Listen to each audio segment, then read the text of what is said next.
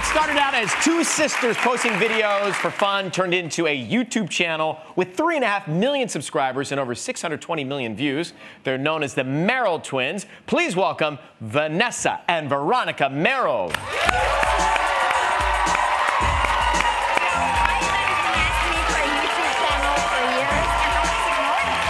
Well,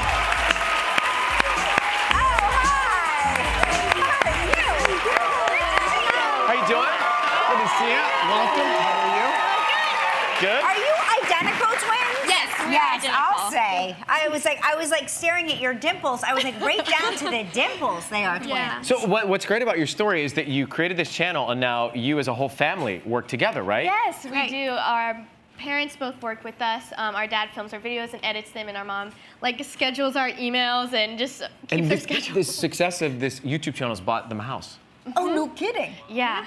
Oh yes. my gosh, Right. what It's did I been a just say to blessing. you? Her son's been My wanting son's a like, he channel. wants, a, he wants a YouTube channel, and I was like, don't be ridiculous. But as maybe, I mean, why not? Hey, Yeah. why not? Yeah, Yeah, for for it's sure. a lot of hard work though. So. yeah. Yeah, but you go to college. D- do people recognize you on campus? I would think that you would be very, uh, co- like, it, college campus, very famous. Yeah, actually, it's kind of like we're like Hannah Montana in a way. Yeah. We're like where where we kind of live like a secret life of YouTubers, but we also try to keep like normal lives as well.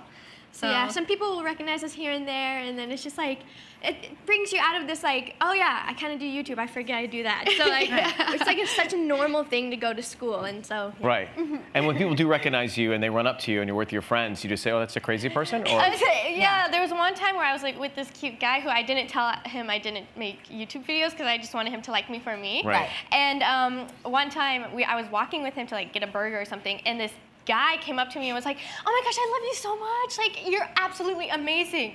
And like he left, and then like my the cute guy I was with, he was like, "What just happened?" And I was like, "I don't know, this is a crazy person." Yeah. Like, Yeah.